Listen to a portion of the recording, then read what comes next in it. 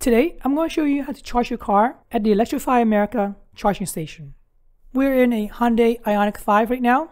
Charging with the EA stations are free for two years, so that's a good thing because as of now, the rate is about $57 to charge your car from 0 to 100 to drive 300 miles.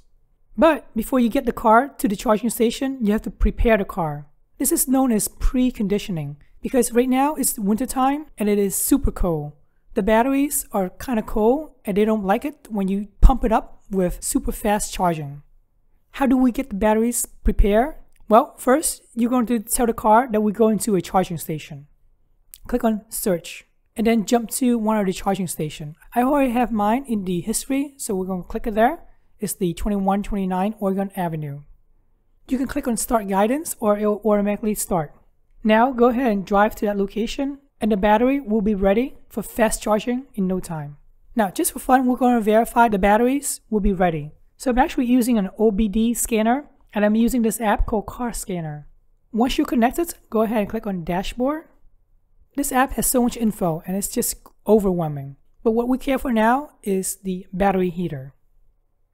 If you scroll to the second dashboard, you would see it. The value was around 60 degrees Fahrenheit.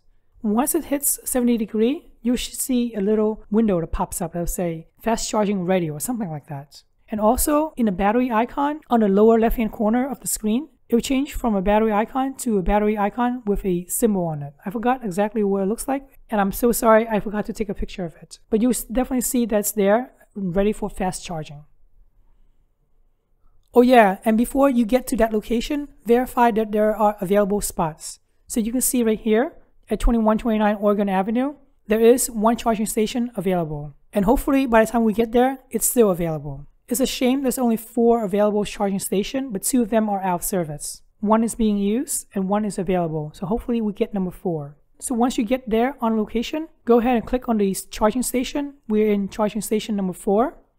Go ahead and open up the battery cover. Also pull this plastic covering right here out. This will expose all of this terminal right here as well as this terminal right here. For fast charging, we're going to use everything. Go ahead and grab the handle and plug it in. Once it's fully seated in, you should hear a nice clunk sound. That means everything is locked and being held into position. Let's go back to the EA app. Whenever you're ready, go ahead and swipe it to start the charge. And that's basically it. Once you swipe to start charging, you'll see this info. It'll let you know how much has been charged, how much has been delivered. And whenever you're ready, go ahead and click on stop charging. With the Hyundai deal that's going on right now, it'll let you charge up to 30 minutes for free. Myself, I'm in a plaza near the grocery store, so I'm going to go shopping. Setting up the timer is a good idea because you definitely don't want to get charged over the 30 minutes limit.